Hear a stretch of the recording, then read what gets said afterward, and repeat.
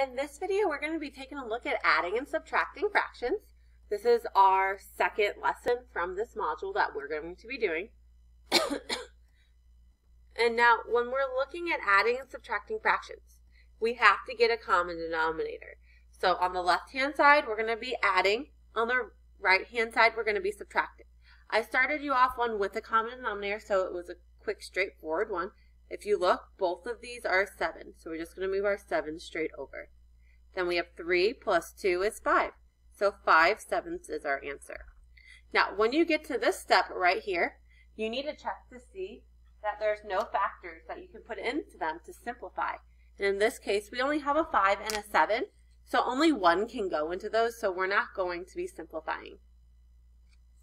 Our next one, we're going right down the row here because I want to stay on adding for right now.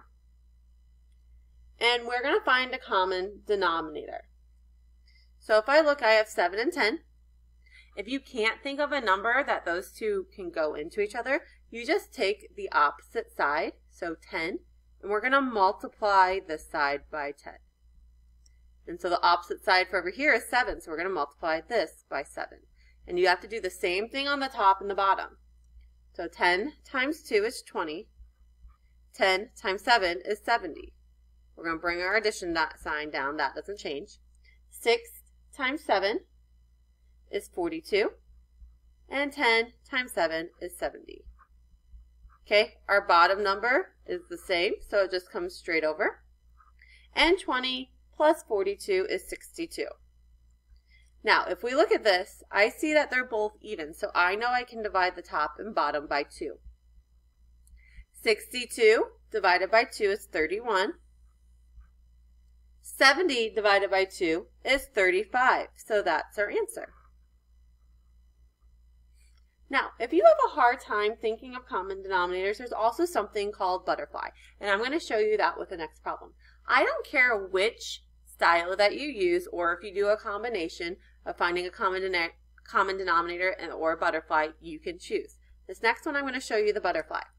So I make the wings. I draw the antennas, and then here's the butt. I'm going to multiply going up. 4 times 6 is 24. 8 times 1 is 8. And this is an addition problem, so we're going to add the antennas.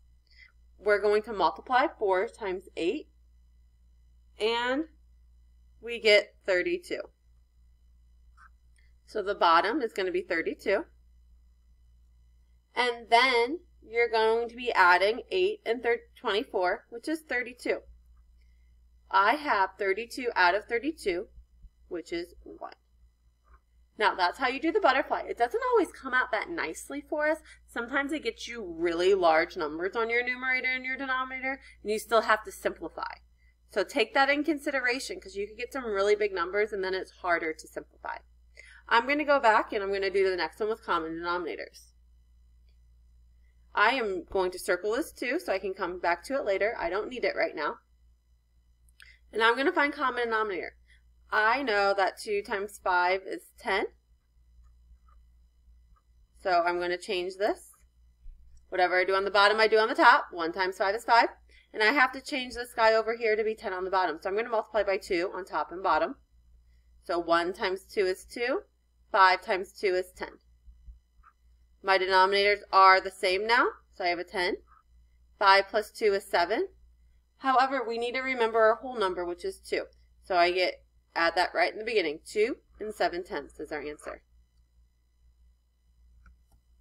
Okay, let's look at this next one. I'm going to circle my threes for later. I'm going to bring down my 5 eighths. I don't need to change that one because I can make 4 be 8 by multiplying by 2. 1 times 2 is 2. 4 times 2 is 8. My denominators are now the same. I have 8 on the bottom. 5 plus 2 is 7. And then we have 3 plus 3 is 6. So 6 and 7 eighths. So that's how you do adding. Subtracting is the same thing, but we're just subtracting the numbers. I'm going to start off with a common denominator already. So I'm going to put 11 at the bottom. 7 minus 2 is 5. So I get 5 over 11. Our next one, I'm going to find a common denominator. And it's going to be 21. To get 21, I have to multiply this side by 3 and this side by 7. I am just taking the denominator from this side and taking it here and multiplying. Then this denominator and multiplying it on this side. 3 times 5 is 15. 3 times 7 is 21. 2 times 7 is 14. 3 times 7 is 21. We have the same denominators, so we have 21 at the bottom, and then 15 minus 4 is 1. So we get 1 over 21. I'll show you what the butterfly looks like on this one so you can see it. I'm going to do my little wings, antennas, and then the butts right here. 3 times 6 is 18. 3 times 1 is 3.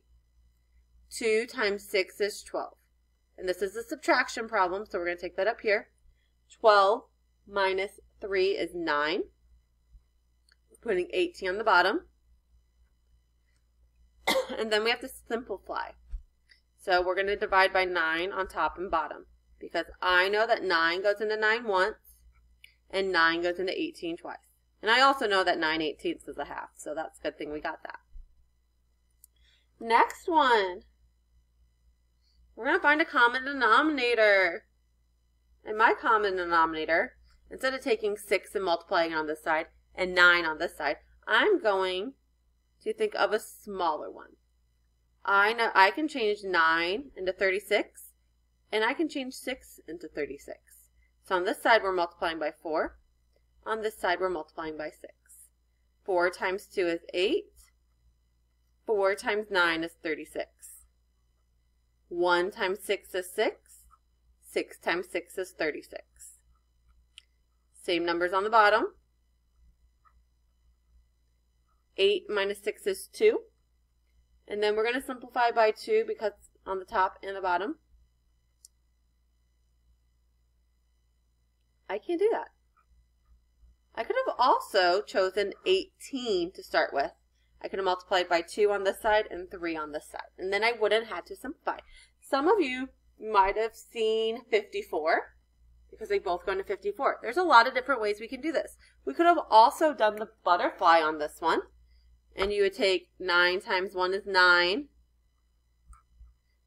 6 times 2 is 12. And we got 54 right here with 9 times 6. 12 minus 9 is 3 over 54. And then we'd have to simplify by 3. And we get 1 over 9. Not 9, I'm sorry, 18. There's a lot of different ways that we could solve this problem. And if you solve the problem correctly, it will be fine. Okay, this one, guys, a little strange, and I'm going to go ahead and change them all into improper fractions for making it a little easier on us. So I'm going to take 7 times 12 plus 5. 7 times 12 is 84, plus 5 is 89. So I have 89 over 12. And then 4, 5 over 2. I can make my 2 into a 12 by multiplying by 6. So 5 times 6 is 30. 2 times 6 is 12. I have the same number on the bottom. So that gets to come across. And 89 minus 30 is 59. We have an improper fraction, so we have to divide that. 59 goes underneath, 12 goes on the outside. 12 times 4 is 48. We get a 1 and a 1. Remember, this number goes up here. This number comes here. 4 and 11 12. If you wouldn't have um, changed these to improper fractions, it gets a little dicey there with what you have to do because you have to borrow from the 7 and make it a 6 and add 12 to the 5. and I didn't think you'd want to do that. So when that happens, because if I didn't take my 7 and my 2 with it, it gets a little weird. So change it to improper fractions and it will be a lot simpler for you. Just like the last lesson, you can find a lot of practice on this online.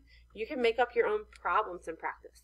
The most important thing when you're adding and subtracting fractions is to have a common denominator and then check to see if you can simplify. Because when in doubt, if you see that you can simplify, simplify so you don't get the problem wrong.